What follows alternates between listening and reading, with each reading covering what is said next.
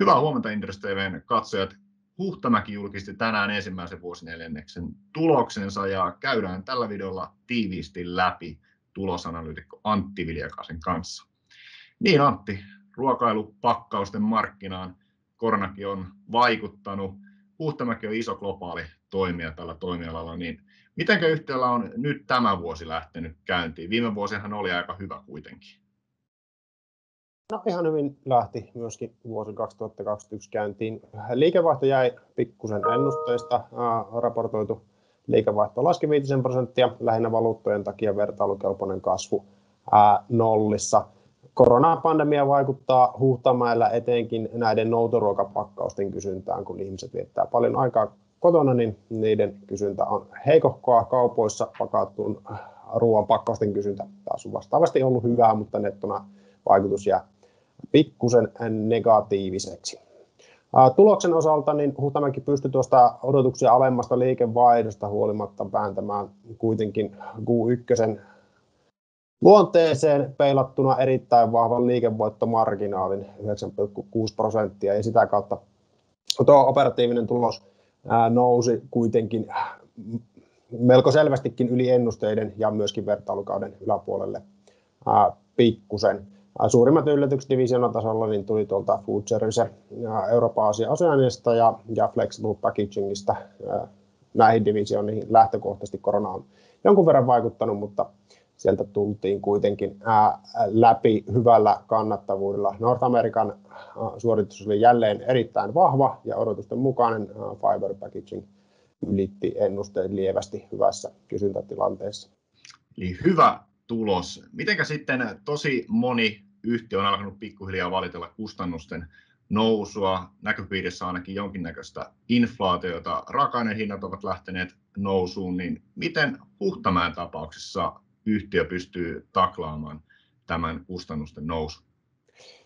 Joo, kyllähän Huhtamäkikin viittasi tuossa raportissaan käytännössä kaikkien divisioonien kohdalla, että kustannukset nousi jo Q1:llä ja osassa tapauksissa vaikuttaa, että se vielä kiihtyi kvartaalin loppua kohti. Eli Q2:lle on lähtökohtaisesti odotettavissa jonkun verran enemmän kustannuspaineita. Kun katsoo tätä Q1:n marginaalia, niin ei siinä nyt ihan hirveitä ongelmia kustannusten kanssa ollut. Yhtiö on erittäin hyvin kyllä pystynyt tehostamaan toimintaansa ja sitä kautta toistaiseksi kompensoimaan kustannusinflaatiota. Myöskin tuotemix on tuossa viime kvartaaleilla ollut hyvinkin suotuisa, mikä on auttanut sen marginaalin ylläpitämisessä.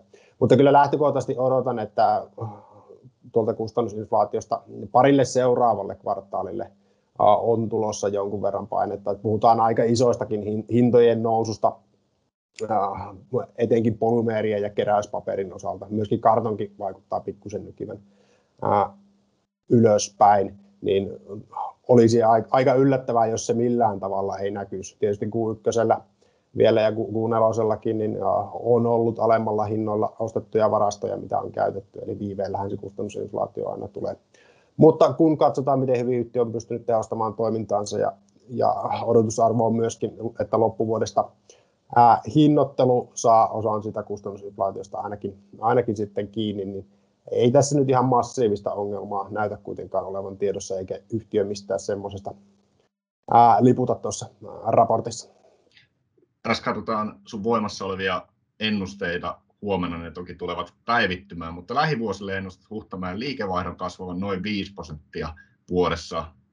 Liiketuloksen vastaavasti noin 10% vuodessa. Näetkö, että tämä tulosraportti aiheuttaa merkittäviä ennustemuutoksia ja kommentoi nyt vielä tätä markkinaympäristöä, että miten se mahdollisesti lähtee elpymään Huhtamäen näkökulmasta?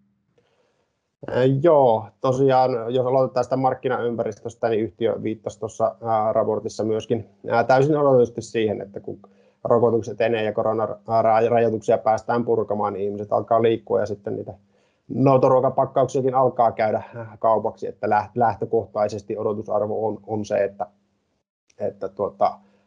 markkinatilanne siellä noutoruokapakkauspuolella niin paranee selvästi. Se, että johtaako se siihen myös, että kaupoissa pakatun ruoan kysyntä pikkusen jäähtyy, niin on hyvin mahdollista, mutta nettona sen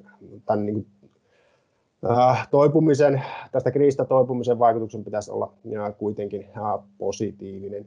Niin ennustemuutoksista, niin liikevaihdon osalta tuskin ihan valtavia muutoksia on tulossa, joskin lyhyellä tähtäimellä se kustannusinflaatio sitten voi jonkun verran nostaa liikevaihtoennusteita, kun lähtökohtaisesti hinnatkin nousee.